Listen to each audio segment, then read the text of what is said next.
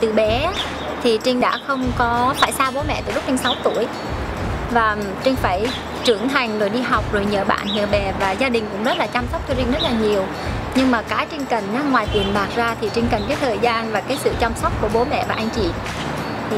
sau 3 ngày mà Trinh sinh người con thứ ba đó thì Trinh mới được một người bà con tên là anh Tuấn Nguyễn ở South Carolina thì anh mới gọi qua để hỏi thăm Trinh sinh em bé thì lúc đó ảnh cũng mới từ công ty trở về và ảnh rất là là phấn khởi nên ảnh mới giới thiệu cái nuôi sinh cho Trinh khi mình qua Mỹ thì mình cái gì cũng nhút nhát, cái gì mình cũng sợ, cái gì mình cũng không dám làm. Nhưng mà khi vào Nu Skin rồi đó, thì cái môi trường này giúp cho mình học hỏi. Nhưng mà khi vào Nu Skin rồi đó, thì nó không có đòi hỏi mình phải là một người hoàn thiện. Tại vì bạn bè của mình họ có những cái điểm mà mình không có. Cho nên là mỗi người bổ sung cho nhau và giúp đỡ lẫn nhau và vì vậy đó mà một người bình thường như Trinh có thể đạt được cái sự thành công của ngày hôm nay. Teamwork á, là một cái yếu tố rất chi là quan trọng trong cái việc thành công uh, của kinh doanh network và đặc biệt là trong cái công ty Nuskin là vì nếu như mà không có sự support không có sự hỗ trợ của các anh chị em thì một mình mình không có thể nào làm cái này được. Đối với Nuskin á, thì người ta nói rằng là we are Nuskin tức là tụi mình là một gia đình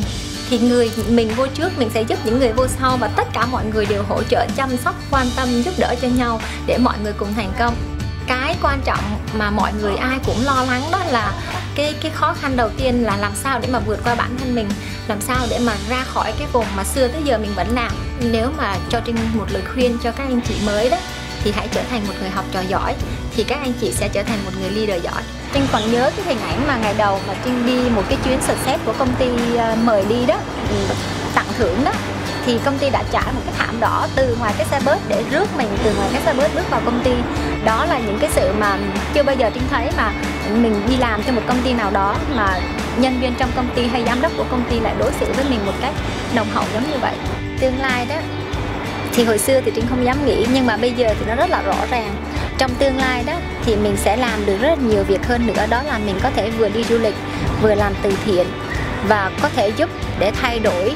được nhiều những cái cuộc sống của những người xung quanh mình không những chỉ ở nước Mỹ và ở các châu lục khác nữa. Mình tên là Jenny Trinh Nguyễn, mình đến từ Arlington, Texas. Mình làm tham gia cái cơ hội New Skin này cùng với gia đình của mình và cùng với tất cả các anh chị em cộng đồng của Việt Nam của mình ở trên khắp Nam Châu và